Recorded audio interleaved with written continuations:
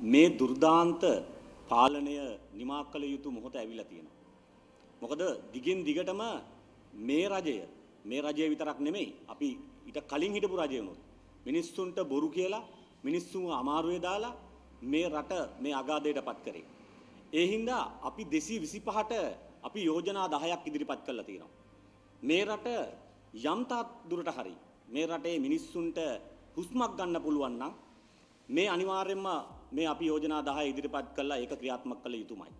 මොකද මේ කිසිම පක්ෂ හෝ විපක්ෂ කිසිම බලධාරියෙක් මේ දැන් රටේ තියෙන තත්ත්වය අඳුනගෙන නැහැ. මේ ඇත්තටම 225ම එපා කියලා තමයි 70ක් 80ක් දැන් කියන්නේ. හැබැයි ඒක අඳුනගෙන නැහැ කිසිම පාලකෙක්. දැන් අපි මේ යෝජනාක 10 තියෙන්නේ පක්ෂ හෝ වේවා විපක්ෂ හෝ වේවා පාර්ලිමේන්තුවේ නියෝජනය කරන 225ට ජනාධිපති අගමැති ඇතුළු 225ටම මෙන්න මේ 10 ක්‍රියාත්මක කළ යුතුමයි.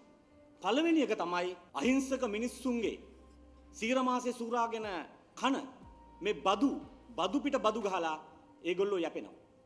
එහෙනම් මේ ක්‍රමය නතර කරන්න ඕන. අනිවාර්යයෙන්ම අපේ බදු මුදලින් යැපෙන මහජන නියෝජිතයා කියන මේ නාමය අයින් කරන්න ඕන. ඒ හින්දා අනිවාර්යයෙන්ම මේ ඕගොල්ලෝ ලබන වරප්‍රසාද සියලුම දේ අත්හැරිය යුතුයි. මොකද අහිංසක ජනතාව විදියට බදු බදු වලින් ඔගොල්ලෝ ජීවත් වෙන නායක විදිහට විලිලැජ්ජයි. මොකද මෙච්චර මේ රටේ ප්‍රශ්න තියාගෙන අද කාන්තාව ගෘහණියක් අද වැළලෙනවා කුසිය ඇතුලේ. ඇයි ඒ? තමන්ගේ චූටි දරුවන්ට තමන්ගේ මිනිස්සයාට කන්න දෙන්න බැරු. ඒ ගේන පොඩි දේ කලමනාකරණය කරගෙන ලිපට තියන්න බැරි ප්‍රශ්නයක් තියෙනවා. මේ පාලකයෝ මේව අඳුරන්නේ මේ තියෙන උද්දමනයට සාපේක්ෂව මේගොල්ලෝ මොකද කරන්නේ? මේගොල්ලෝ ඒගොල්ලන්ගේ වරප්‍රසාද වැඩි කරගන්නවා. එයිද හොඳට මතක තියාගන්න අපිට නායකයෝ නෑ මේ රටේ. නායකයෝ කියන්නේ ඔය ඕගොල්ලන්ට නෙමෙයි. නායකයෝ කියන්නේ අනිත් අයට ආදර්ශමත් වෙන නායකයෝ වෙන්න ඕන. එහෙනම් මේ රටේ අපි එහෙම නායකයෝ දකින්නේ නෑ. එයිද හොඳට මතක තියාගන්න ඔය සද්දවලට මේ තරුණයෝ බය වෙලා නෙමෙයි ඉන්නේ. අපිට පාරට වහින්න අපේ ව්‍යවස්ථාවේ 14 වෙනි වගන්තිය අනුව අපිට ඉඩ දෙන්නේ නැත්තම් අපිට අරගල කිරීමේ අයිතිය අපිට ලබා දෙන්නේ නැත්තම් අපි දන්නවා කරන්න ඕන මොකද්ද කියලා. ඔය මහා ලොකු ටෝක් දීලා ඔය channel වලට ඇවිල්ලා මහා කෑ ගහන නායකයෝ හොඳට මතක තියාගන්න කොයි මොහොතක හරි රටේ ඡන්දයක් තියෙනකොට වැඳගෙන දෙකට තුනට නැමිලා ජනතාව අහිංසක ජනතාව අතරට එන්න වෙන්නේ දිනයක් එනවා. එහෙනම් අර කකුලුවා දියේ ඉන්නකොට අර ආතල් ගන්නවා වගේ දැන් මාධ්‍යයට ඇවිල්ලා ඕගොල්ලෝ ආතල් ගන්න. හැබැයි අපිට අවස්ථාවක් එනවා බලමු එතකොටත් බලා ගන්න. අපි අතරට එන්න වෙනවා. ඒ හින්දා හොඳට මතක තියාගන්න. මෙතන පක්ෂ නැහැ, විපක්ෂ නැහැ අපිට ඔක්කොම එපා. 225ම එපා. අවුරුදු 74ක් අපිව රැවට්ටුවා. මමත් වැරදිකාරයෙක්. ඉන්න හොඳට මතක තියාගන්න ජනතාව විදියෙන් අපිත් වැරදි. ඕගොල්ලොත් වැරදි අපි. මේ රටේ නෑ කවුරුවත් හොඳ මිනිස්සු. ඇයි ඒ? අපි ඕගොල්ලන්ගේ වචනයට අපි රැවටුණා. අපි රැවටුනේ අපිත් වැරදිකාරයෝ හින්දා. අපි හිතුවේ නෑ. ඒ හින්දා මින් මත්තට අපි ඒක දෙය කරන්නේ නෑ. අපි හැදෙන්න ඕන මුලින්. ඒකයි අපේ මාතෘකාව. අපි හැදෙමු, රට හදමු, දියවන්නාම අලුත් කරන්න ඕන. අපිට ටොයිලට් පෝච්චිය දීලා, අපිට තහඩුව දීලා, අපිට සිගරට් එක දීලා, අපිට විස්කි බෝතලේ දීලා, විස්කි හරි ගල් හරි අරක්කු හරි දීලා අපිව මීටින් වලට ගන්න යුගයක් තමයි අපි කලින් දැක්කේ. ආයි අපි ඒවට නැවෙන්නේ නැහැ. ඒ හින්දා 225ම මතක තියාගන්න ආයි ගමට එනවා නම් ඔබේ සියලුම වරප්‍රසාද අතරින්න ඕන. ඒක තමයි අපේ පළවෙනි ඉල්ලීම. ඔබ වරප්‍රසාද ගන්නේ නම් ආයි ගමට එන්න හිතන්න එපා ඡන්දයකට. මොකද හේතුව අපිට කළ හැකි දෙයක් තියෙනවා. අපිට නගරෙටම ඇවිල්ලා උද්ඝෝෂණ කරන්න ඕනේ නැහැ. බල කවදා හරි එන්නේ ගමට. ඒ හින්දා හොඳට මතක තියාගන්නilla. අනිවාර්යයෙන්ම ආසාවට හරි ඡන්දයකදී ගමට එන්න ඕනකමක් තියෙන മന്ത്രിවරයෙක් ඉන්නවා නම් පාර්ලිමේන්තුවේ සතියක් දෙනවා. බලගේ වරප්‍රසාද අතාරපල්ලා. මොකද හේතුව අපි කියන්නේ අපි කියන්න ඕන සල්ලි තියෙන්න ඕන තමයි. ඔයාලා පඩියක් ගන්න. කැබිනට් මණ්ඩලයට දාලා සම්මත කරගන්න. මොකද ඕගොල්ලෝ මේ අස්සේ ගුවන් යාන 11ක් ගෙන්න කැබිනට් මණ්ඩලය මේ ඕගොල්ලෝ මේවා කරගන්නවා. ඒක ඒක සම්මත කරගන්නවා. මේ වෙලාවේ තියෙන්නේ ගුවන් යාන නෙමෙයි. මිනිස්සුන්ගේ හදවතේ තියෙන ප්‍රශ්න. ඔයාලා දැන් ගෑස් තියනවා කියලා හිතාගෙන ඉන්න ඕගොල්ලෝ උතන්ට වෙලා. මන්දිර වල ඉඳලා. ගෑස් නැහැ. අපි ගෑස් එක අරගෙන යනවා කිලෝමීටර් 4ක් 5ක්. මේ දැන් තියෙන තත්ත්වය. ඕගොල්ලෝ හිතනවා නම් ඕගොල්ලෝ ආණ්ඩුව හොඳට කරනවායි කියලා. ඒක විහිළුවක්. එහෙනම් හොඳට මතක තියාගන්න. අපේ තියෙන ඉල්ලීම් 10ක් තියෙනවා පළවෙනි එක තමයි සියලු වරප්‍රසාද අතහැරිය යුතු 225ම. අපි කියන්නේ නෑ ඔගොල්ලෝ වරප්‍රසාද වක්‍රව ගන්න වරප්‍රසාද අතෑරලා ඔගොල්ලෝ පඩිය වැඩි කරගන්න. ලක්ෂයද දෙකද තුනද හතරද පහද හයද දහයද පහළොද ඔගොල්ලෝ පඩිය වැඩි කරගන්න. කිසි ප්‍රශ්නයක් නැහැ. හැබැයි ඒක විනිවිද භාවයක් තියෙන්න ඕන. ඔගොල්ලෝ අඩුපඩියක් දාගෙන බොරුවට වක්‍රව ජනතාවගේ බදු මුදලින් යැපිලා ඔගොල්ලෝ නිකන් චණ්ඩියෝ වගේ මහලුකොට ඇවිල්ලා මාධ්‍ය ඉස්සරහා සංදර්ශන පවත්වනවා. ඒ දේ කරන්න එපා.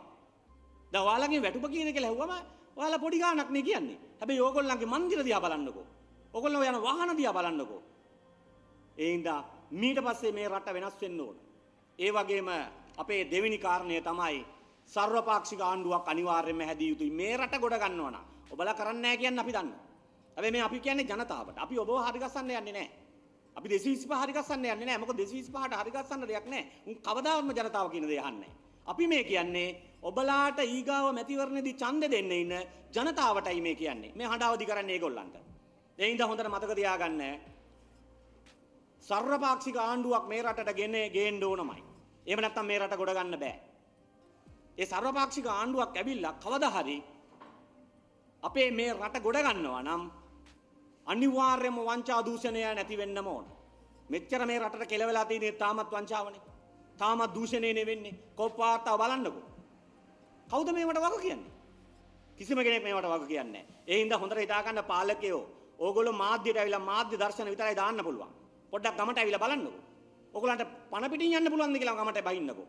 පණ පිටින් නම් යන්න හම්බෙන්නේ නැහැ. ඒ හින්දා හොඳට හිතන්න එපා මේ මිනිස්සු බය කරලා මේ ආමියක දාලා පොලිසිය දාලා ඕගොල්ලන්ට తాවකාලික වින්දනයක් ලබන්න පුළුවන් වෙයි. හැබැයි දීර්ඝකාලීන වන්දි ඒවට නම් සැප විඳින්න බෑ. ඒ හින්දා හොඳට මතක තියාගන්න. අනිත් එක තමයි ජනාධිපති අපේ හතරවෙනි එක පාර්ලිමේන්තු නියෝජනය සඳහා සීමා පනවන්න ඕන. අනිවාර්යෙන් අපි රාජ්‍ය සේවයේ බැලුවම අවම සුදුසුකමක් නම් අනිවාර්යයෙන්ම O level වැඩ හයයි සම්මාන හතරක් ගන්න ඕනනේ ගණිතයත් එක්ක. මේ උත්තරීතර කියලා තියෙන තැනට මේ අට පාස් වෙලාවත් නැති මේ එක එක මේ කශිපුකාරයෝ ගංජකාරයෝ කුඩුකාරයෝ ගිහිල්ලා මොකද්ද මේ කරන්නේ? එතකොට මේක රාජ්‍ය සේවයක් නෙමෙයිද? එහෙනම් ඇයි මෙච්චර පාර්ලිමේන්තුව බාල්දු කරන්නේ? මේ රටේ හැම තීරණයක්ම ගන්න තැනට ඇයි මේ වගේ මිනිස්සු යවන්නේ? ඒකේ ප්‍රතිඵලනේ අපි විඳින්න ඕන. අහිංසක මිනිස්සු ඒක විඳින්න ඕන. ඒ හින්දා අනිවාර්යයෙන්ම පාර්ලිමේන්තුව ඇතුළට යනවා නම් වෙනම නීති සම්පාදනය කළ යුතුයි. ඒ අයට සුදුසුකම් තියෙන්නත් ඕන. අනිත් එක තමයි ඔව් හෝ ඇය පාර්ලිමේන්තු නියෝජනය කරනවා නම් ස්ත්‍රී දූෂණ වංචා සහගත සිද්ධීන් වලට පෙරවැරදිකාරයෝ වෙන්න බෑ. කිසිම එකක් පෙරවැරද්දක් තියෙන්න බෑ. දැන් වැඩි හරියක් ඉන්නේ පෙරවැරදි ස්ත්‍රී දූෂණ මංකල්ලකාරයෝ කුඩුකාරයෝනේ වැඩි හරියක් පාර්ලිමේන්තුවේ ඉන්නේ. එහෙම වෙන්න බෑ. ඒ හින්දා ඒ වගේ කරුණු ගණනාවක් තියෙනවා අවුරුදු 60 65 වෙනකොට පාර්ලිමේන්තුවේ ඉස්ලාම ජීවිතය දෙන්නම ඕන. අනිවාර්යෙන් දෙන්න ඕන. හැරමිට්ටක් අරගෙන පාර්ලිමේන්තුවේ යන සිස්ටම් එකක් මින් ඉදිරියට අපි ආණ්ඩුවක් හදන්නේ නැහැ. ඒ හින්දා හොඳට මතක තියාගන්න. ඊළඟට තමයි සියලුම පාඩු ලබන රාජ්‍ය ආයතනවල සභාපතිවරු මාරු කළ යුතුමයි. ඒ වගේම මේ අතරින් විදුලි වල මණ්ඩලය khනිජ තෙල් සංස්ථාව වැඩි අවධානයක් යොමු කළ යුතුයි. අනිත් එක තමයි ඒගොල්ලන්ට ස්වාධීන තීරණ ගන්න දෙන්න බෑ. khනිජ තෙල් හරි විදුලි වල මණ්ඩලය හරි මේක පසුවිපරමක් කරන අධීක්ෂණ මණ්ඩලයක් ඉන්න ඕන. තම තමන්ට ඕන විදියට එහෙම කරන්න බෑ. ඒ හින්දානේ මේ පාඩු ලැබලා තියෙන අවුරුදු ගාණක් මේවා පාඩු ලැබලා. මේවා පිටිපස්සේ හැම හැම මේ එකේම මේ වගේ ඇමතිවරු ඉන්නවනේ. මේ ඇමතිවරු මොනවද කරන්නේ? මේ ඇමතිවරු මේවා හැමදාම පාඩු ලබන ආයතන. කොහොම මේවට පසුවිපරමක්? මේවා මේවා ඇයි පාඩු ලබන්නේ කියලා හොයනවද? මේවා පාඩු ලබන කියලා හොයන්න බෑ. හැබැයි එහෙම රටක් කරන්න ජනතාවදී විදියට අපිට දෙන්නෙත් නෑ. මොකද අපිට තේරෙන එක තොපිලට තේරෙන්නේ නෑ. ඒ හින්දා මෙහෙම රටක් කරන්න දෙන්න බෑ. අනිත් එක තමයි දැන් සංචාරය සංචාරය සංචාරය කියනවා. මේ රජයේ සංචාරකයෝ ගෙන්න ගන්න ආකර්ශනීය වැඩපිළිවෙලක් මොකද්ද කරලා තියෙන්නේ? මේ රටේ ස්වභාව සෞන්දර්ය උපයෝගී කරගෙන තරුණ පරපුර යොදාගෙන මොනවද කරන වැඩපිළිවෙල? අමතිවරයට හිතුමතේ අරක කරන්න මේක කරන්න නැව් ගාන යන්න ඒගොල්ලෝ එනකොට සීරුවෙන් පිළිගන්න නැෂනල් එක හොඳට කිට් එක ඇඳලා පිළිගන්නවා. මේවා වැඩක් නැහැ. ඒගොල්ලෝ එන්නේ මේ රටවල ලෝකේ තියෙන සුපෝගිබෝගි කෑම කන්න නෙමෙයි. මේ දේශීය දේ ආරක්ෂා කරගන්න අපේ දේශීය කෑම හදලා දෙන්න. දේශීය වට්ටෝරු ඉදිරිපත් කරන්න. කොහොම ඒවට වැඩපිළිවෙල? ඒවට වැඩපිළිවෙලවල් නැහැ. අනිත් එක තමයි අපේ රටේ තියෙන ප්‍රශ්න වැඩක් නැහැ විදේශිකයට. ඒගොල්ලෝ එන්නේ ඒ රටේ ඕන තරම් ඒ වගේ සුපෝගිබෝගී ජීවිත ගත කරනවා. මේ අපි වගේ දුෂ්කර ජීවිත නෙමෙයි ඒගොල්ලෝ ගත කරන්නේ. ඒගොල්ලන්ට ඕන නැචරල්. ඒගොල්ලන්ට මේ හදලා ආකෘති වැඩක් නැහැ. ඒගොල්ලන්ට මේ බිල්ඩින් වල නවත්තන් දෙන්න වැඩක් නැහැ. ඒගොල්ලෝ කැමති ස්වභාව බලන අපේ වාතය. අපේ ගස් කොළන් තියෙන පැතිවල හොඳට වාතය ඒගොල්ලන්ට පරිශීලනය වෙනවා. ඉතින් ඒවට තමයි ඒගොල්ලෝ කැමති. කොහොම වැඩපිළිවෙල? ඒ වගේ වැඩපිළිවෙලක් නැහැ. ඇයි? එහෙම වැඩපිළිවෙලක් තියෙන තරුණ තරුණියන්ගේ අදහස් ගන්නෙ නැහැ. ඕගොල්ලෝ ඒකාධිපතිලා. අමතිට හෙට හිතුනොත් එහෙම සම්පූර්ණ මේක පැට් කරලා තට්ටු හතරක බිල්ඩින් එකක් ගහලා සුද්දන්ට දෙන්න ඕන කියලා ඒක කරනවා. පසුවිපරමක් නැහැ. අහන්නේ නැහැ. ඒ වගේ දේවල් කරන්න එපා. අපි කියන්නේ ඒකයි. තරුණ තරුණියන්ට විශේෂ වැඩපිළිවෙලක් සකස් කරන්න දෙන්න. ඒගොල්ලන්ගේ නව නිර්මාණ එළියට වෙන්න දෙන්න. කෝගොල්ලෝ. එහෙනම් හොඳට මතක තියාගන්න. ඒ වගේ දේවල් කරන්න බෑ. අපේ මේ වැඩපිළිවෙලේ තියෙනවා. ඕගොල්ලෝ යමක් කරනවා නම් ඊට පස්සේ හැබැයි හිතන්න එපා අරගලය බිම තියෙන්නේ කියලා. මේ අරගලය දරාගෙන ඉන්නේ. ඔයගොල්ලෝ හිතන්න එපා මේ අරගලය අතහැරලා ගෙවල් වලට ඉන්නවා කියලා. කිසිම නායකයෙක් හිතන්න එපා එහෙම. මේ අරගලේ දරාගෙන ඉන්නේ. හැබැයි අපිට දරන්න පුළුවන් ප්‍රමාණයක් තියෙනවා. ඔයගොල්ලෝ නොහිතුව විදිහට මේක පුපුරන්න පුළුවන්. එහෙනම් හොඳට මතක තියාගන්න. ඒ වගේම සංචාරක පිළිබඳ අපේ තියෙනවා මේ නවාතැන් දෙන පිළිබඳ ප්‍රශ්නයක් තියෙනවා සංචාරකයෝ. දැන් මම උසට ගියාවේ ළඟදී ගියා හොටෙල් එකකට මේ අලුත් අපේ ලංකාවේ තරුණයෙක් ආරම්භ කරලා තියෙනවා. වැඩි වියදමක් කරලා නැහැ. හැබැයි ඒ සුද්ධ කියලා තියෙනවා පාරට කාපට් එක බව දාන්න එපා. ඒ පස් පොළොව තියන්න කියලා. ඒතර බලන්න සුද්දා කොච්චර ආසද කියලා අපේ පොළවේ පය ගහන්නේ. අපේ පොළවේ පය ගන්න සුද්දා කොච්චර ආසද? ඉතින් මේ වගේ ලංකාවේ ආකර්ෂණීය ගන්න තැන් කොච්චර තියෙනවද? ඒගොල්ලන්ට අත දෙන්න.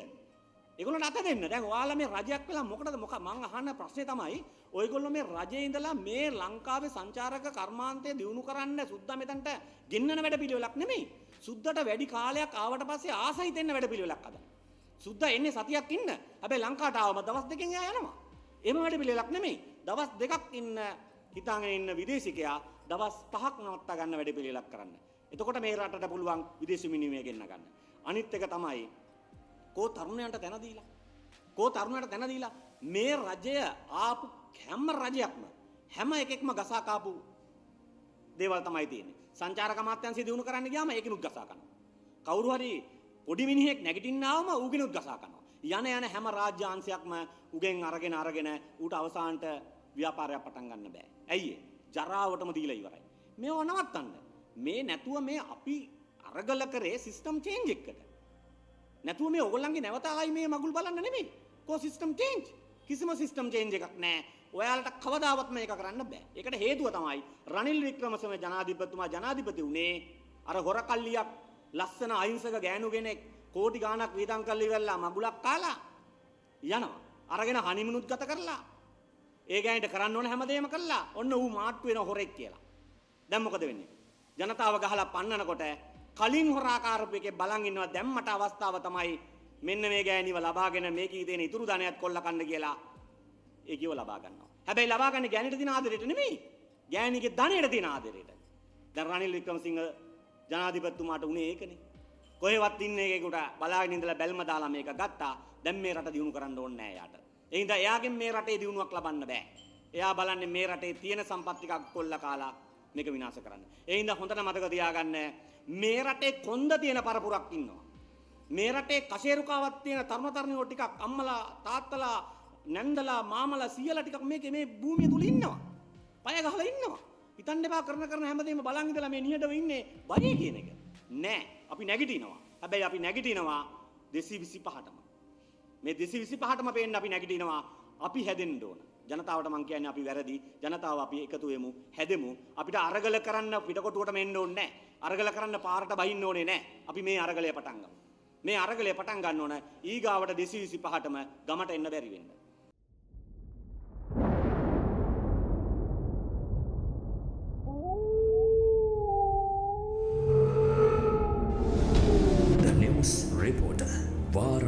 තොර අපක්ෂපාති වාර්තාකරණය.